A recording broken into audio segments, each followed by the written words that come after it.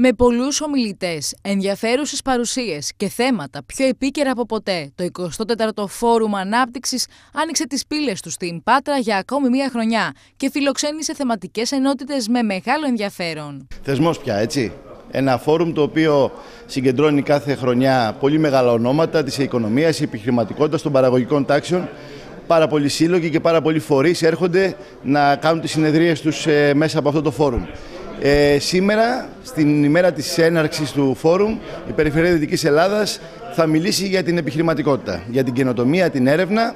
Ε, δίνουμε πολύ μεγάλη σημασία στον τομέα αυτό. Εδώ και δύο χρόνια, δύο και περισσότερο που έχουμε αναλάβει, ε, έχουμε δώσει ιδιαίτερη έμφαση σε αυτό. Θέματα τα οποία, μάλλον παράγοντες, οι οποίες επηρεάζουν το αύριο. Και νομίζω θα αναδειχθούν στις συνεδρίες από ό,τι είδα από το πρόγραμμα.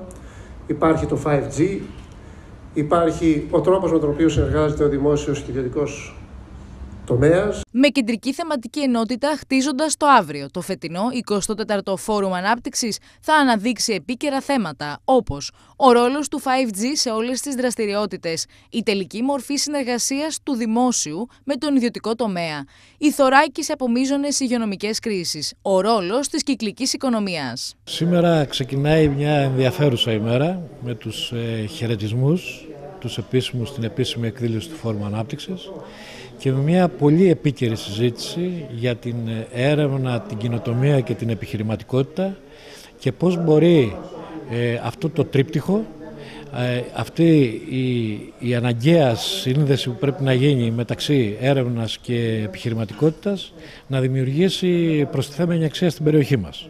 Η επόμενη ημέρα από την πανδημία του κορονοϊού είναι ένα από τα θέματα που κυριάρχησαν κατά τη διάρκεια της πρώτης εκδήλωσης.